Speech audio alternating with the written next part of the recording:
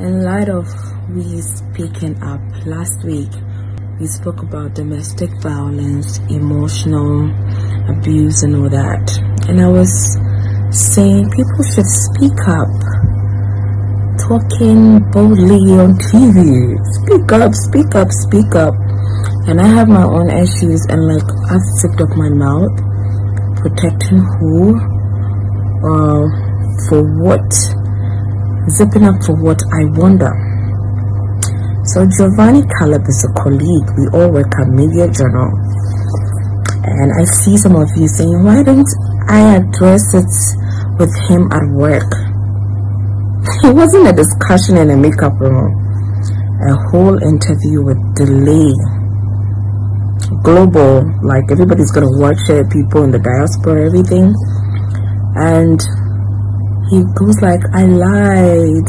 And then he said it so nicely she's my friend and you know i supported her in my in, in her um, campaign and all that.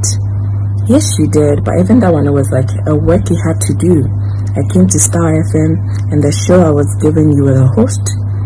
You have to pay your bills so whether you liked it or not you still had to do it. And um I came to do an interview to promote bipolar awareness. So if I had any issue with you, I really don't have any issue with you.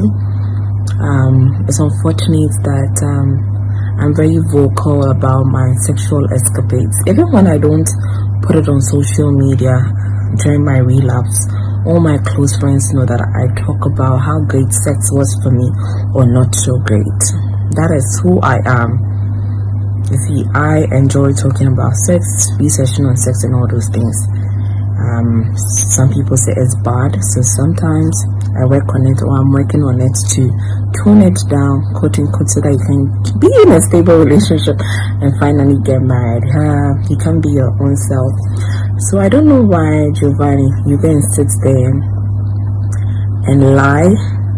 You could have just said no comments because that's what I do anytime people ask me about anybody that was on the list you know just no comment because I don't know why I should lie for you or which, which, it wasn't something I was even supposed to talk about but I did have a relapse and I spoke about it and there was no lie about it. But you know there are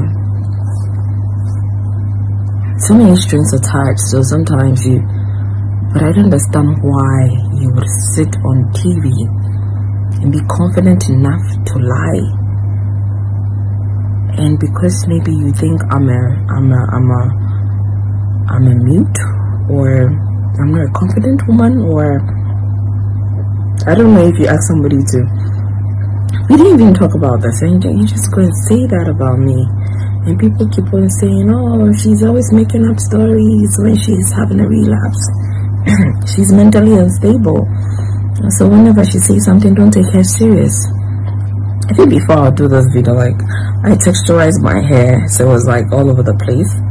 I had to go and brush it up so that I look kept before I make this video, so nobody would think, oh, she's having a relapse.